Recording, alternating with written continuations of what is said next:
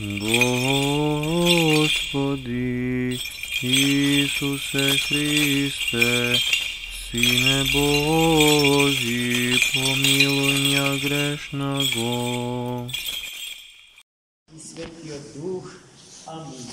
Возлюбени во Христа Бога, браќа и сестри, утре 12 февруари, во тој ден Светата Црква Божја ги празнува трите столбови на Светата Црква, најголемите незини учители, богослови, философи и архиереи. Василий Велики, Григорий Богосов и Иоанн Златоус. Па ние во чест на тие три големи светила утре ќе служиме svečena, božestvena sveta i božestvena sveta liturgija. A potom u četvrtom na 15. februaru se slavi kolegio praznik gospoden svetenje, praznik po kojoj što Bog se srećava sa čovjekom i čovjekom sa Boga i ta sredba je olicetvorena bo sredbata помеѓу малечкиот Христос и старецот Симеон што го приме. И во четврток ќе служиме исто така празнична, торжествена, божествена, света литургија. Победете, да дојдете сите вие што сакате и вие што можете. Денеска пак, возлюбени по Христа Бога, браќи и сестри, Светата Црква Божја благослови да читаме една одломка од Евангелието на Светиот Апостол и Евангелист Матеј, во која што мощно сликовито се зборува за спасителното дело Христово, за неговата божествена проповед, за влијанието што Христос го имал врз природата од телото на овој свет и врз природата на човекот создаден по образ и подобие Божие. И Христос, гледајте, воопшто не е статичен, не стои во едно место и не зборува од еден центар, туку е во постојано движење. До неодамна беше во пределите за, Волон, за Волонови и Нефталимов, а сега Христос доаѓа по сосема други краишта од света, светата земја палестинска. Во неа има и граѓани кои што не му припаѓаат на избраниот народ Божи, на еврејскиот народ. По правило, секогаш Христос е окружен од мноштво народ и овој пат Христос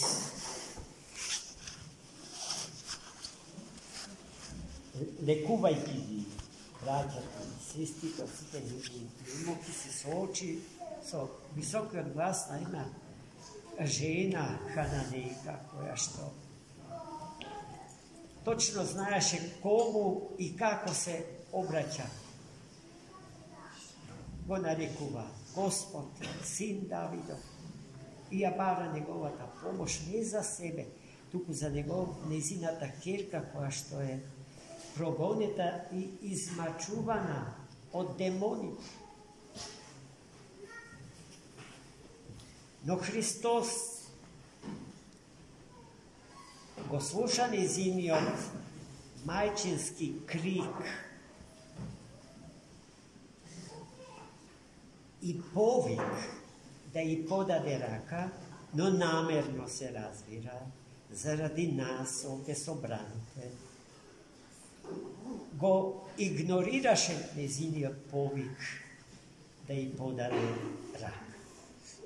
да и помогне на незината болна, духовно болна керка. Но таа, без оглед на тоа што Христос ја игнорираше, не престануваше да го повикува неговото свето име да ја, и да ја бада неговата помош. Сето тоа го гледа и го слуша светите ученици Христови.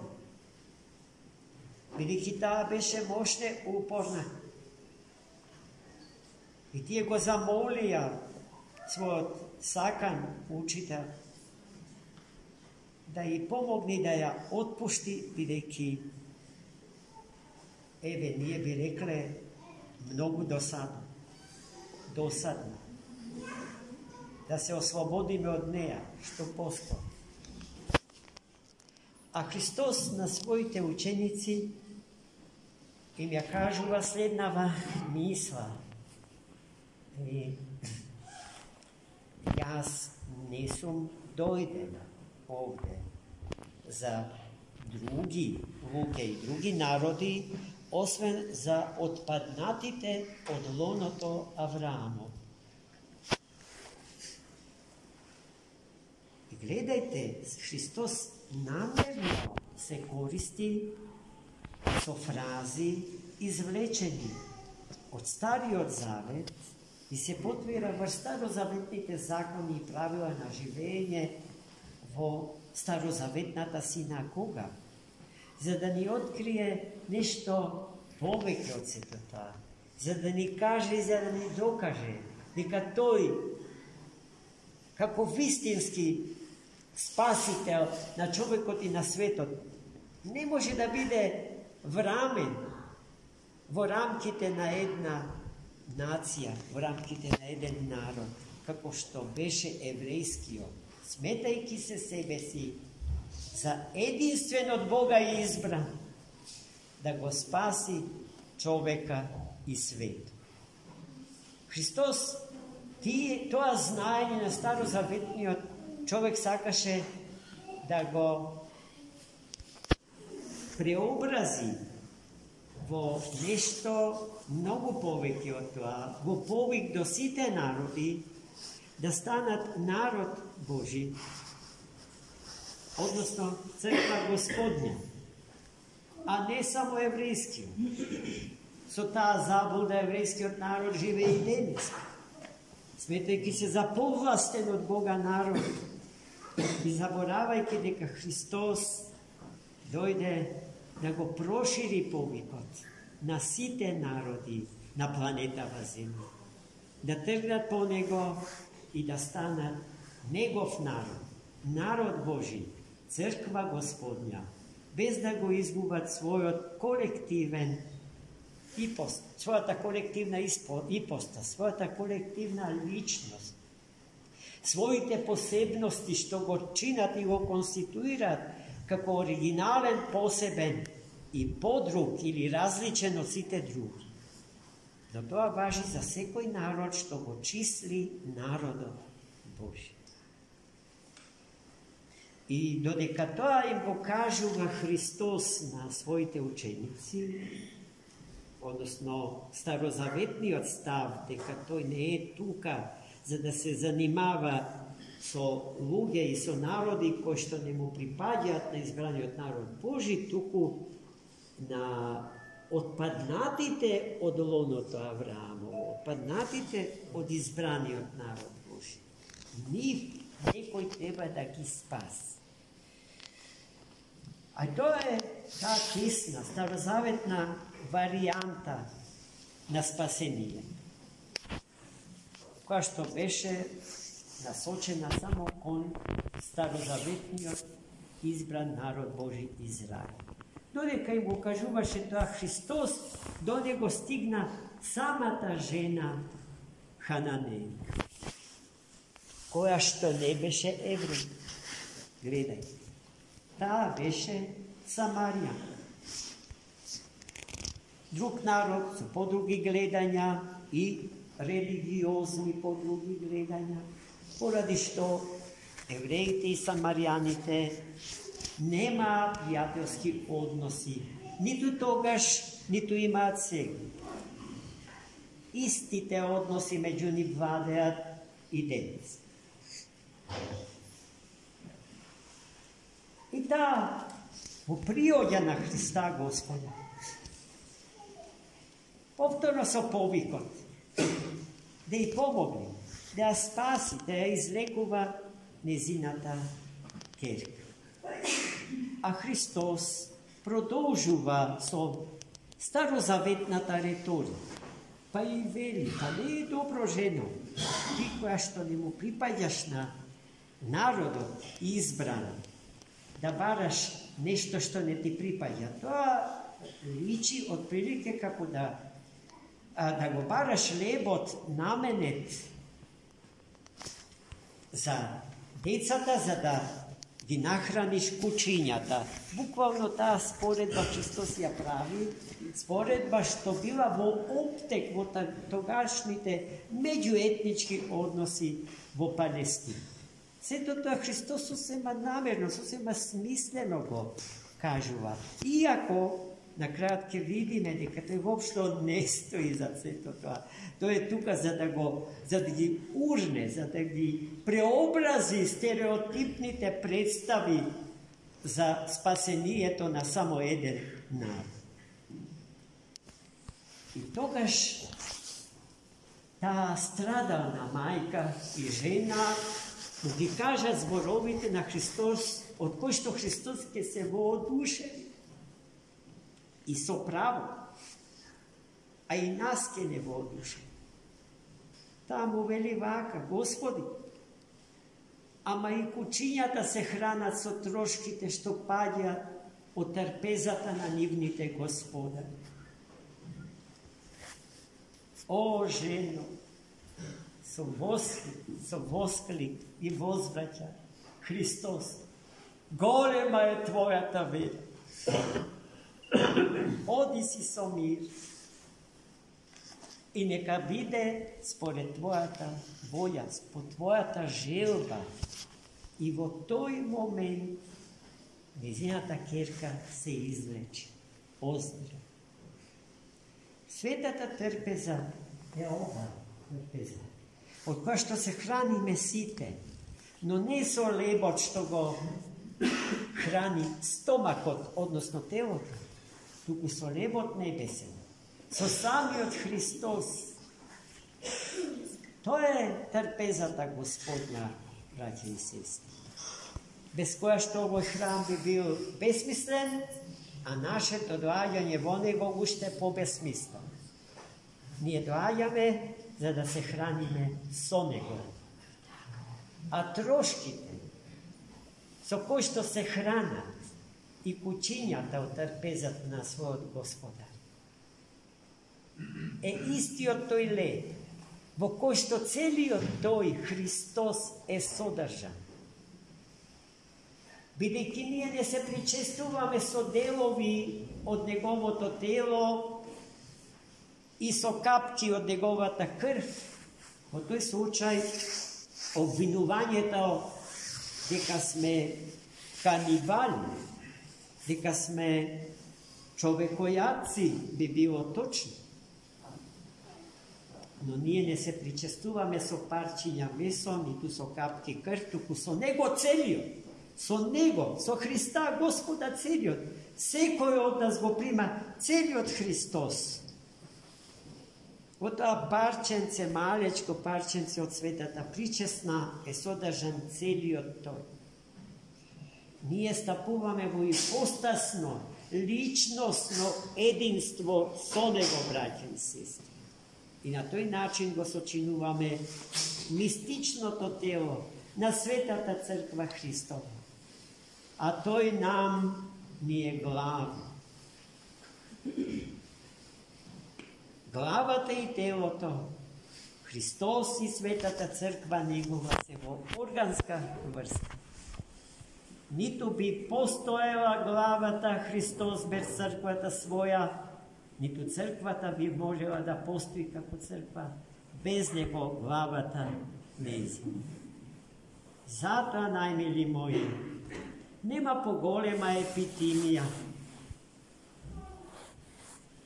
од епитимијата на непричестување. Кога ќе ни кажат дека најдобар лек за нас е да не се причестуваме со Христос, бидејќи не сме му достој, додека не се удостоиме, додека не се подготвиме за повторно соединување со Него, таквото одземање на Христос треба да го доживуваме безмалку трагично. Секоја друга, секој друго одземање е ништо спрема одземањето на Христос. Или повикот на воздржување да се храниме со Него заедно колку и да е кратко или релативно долго време. Тоа е тоа што треба да не исплаши. Тоа е тоа што треба да бегаме. Тоа е тоа со што не смееме да се согласиме, ама не вербално, туку со целиот свој живот. Да не допуштиме да паднеме толку ниско во нашиот духовен живот толку далеку да се оттуѓиме од Христа Господа за да не можеме ниту да го видиме, ниту да го вкусиме. А вистински живот без него нема, бидејќи тој е нашиот вистински живот, а второ име за вистинскиот живот кој што од него ни доаѓа е поимот благодат Божја. Благодатта Божја се енергиите Божји, преку кој што ни се дава и ни се открива нам сите на секоја света литургија. Оној кој што сака да го види Бога, нека дојди овде и да присуствува во моментот кога го примаме, во моментот кога се храниме со Него. Таа привилегија ја имаме ние, православните христијани. Но, најмили мои, таа привилегија е привилегија која што Христос денеска ни докаже и ни покажа и ме понудена на сите национи, на сите народи на планетава Земја. Во таа смисла новиот завет го надминува стариот завет.